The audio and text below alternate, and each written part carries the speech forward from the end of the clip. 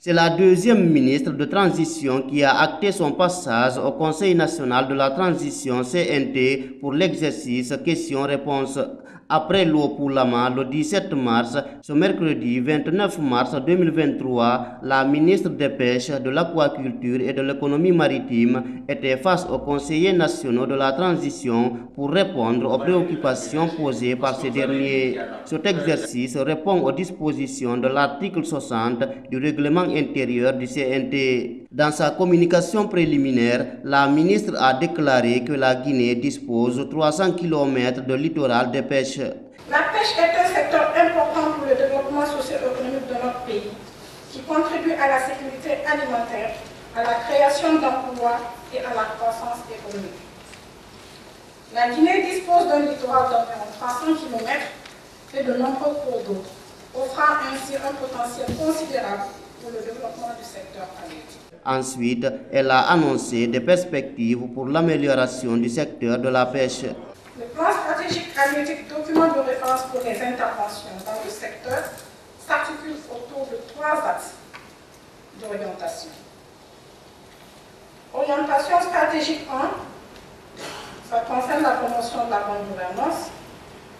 Orientation stratégique 2, amélioration de la sécurité alimentaire des populations en favorisant le développement socio-économique des filières de production de la Guinée. Orientation stratégique 3, renforcement de la résilience des écosystèmes marins et continentaux en tant qu'instrument contributif à la durabilité des ressources halieutiques.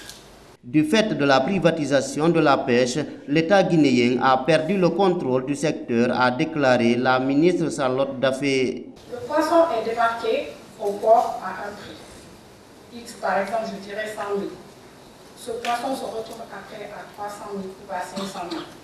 Ça, ce n'est pas le département de la pêche. Mais nous sommes en train de réglementer ça. Pour ça, j'ai commencé par dire que le fait que la, euh, pêche soit privatisée fait qu'on a, on a un peu perdu, l'État a un peu perdu la maîtrise, la gestion sur, euh, euh, sur le secteur. Mais puisque nous sommes là pour réguler, pour réglementer, on a constaté tout ça, on a identifié toutes ces anomalies que nous sommes en train de corriger au fur et à mesure. Et pour répliquer à cette révélation de la ministre des Pêches, de l'Aquaculture et de l'Économie maritime, le président du CNT a dit ce que l'État devrait faire pour assurer la promotion du secteur des pêches. Si l'État n'est pas très présent dans la pêche en mer, mais la distribution du poisson sur le marché guinéen, je crois qu'il est important d'avoir une approche palliative à cela. La disponibilité de camions frigorifiques, ça peut être un maillon de la politique du ministère pour qu'au moins le poisson, le trop plein à Conakry soit transporté par les soins de votre département pour arriver à l'intérieur du pays. Et travailler aussi pour qu'il y ait des infrastructures à ce niveau pour aider à approvisionner le poisson. Sinon, la politique est en train de se mettre en place pour euh, limiter les exportations de poissons, s'il n'y a pas les mesures prises pour assurer une bonne gestion du stock, on se retrouvera avec une bonne quantité de poissons pourris. Donc c'est important euh, que cette question soit, euh, soit prise en compte parce que je pense que si on n'a pas de navire on n'a pas de camion frigorifique, vaut mieux qu'on se lave la main dans le domaine de la pêche. Qu'on laisse les privés pêcher ce qu'ils veulent et puis ça va.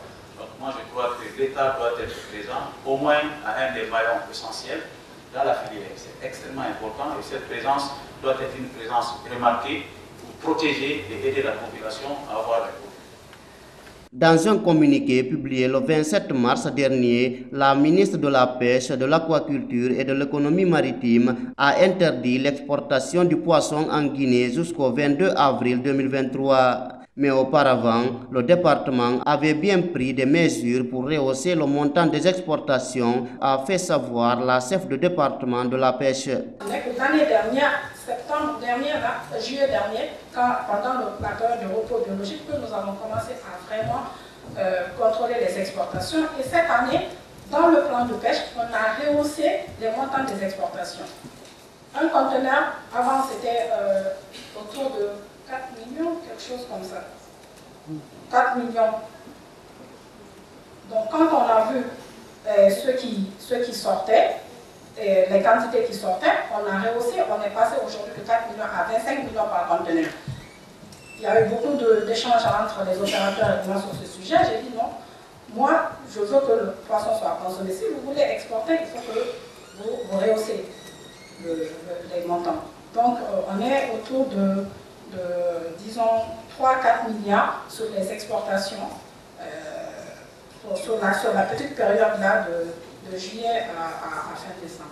On n'a pas pas fini les statistiques euh, sur le premier trimestre, mais on peut faire ces calculs-là et mettre dans une réponse pour s'envoyer.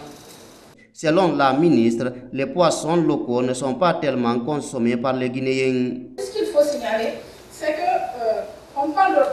Il y, a, du poisson. Par exemple, quand je prends les poissons euh, euh, pélagiques, c'est des petits poissons, des poissons euh, de surface qui, qui, sont, qui migrent vers d'autres eaux maritimes. Ces poissons ne sont pas trop prisés en Guinée.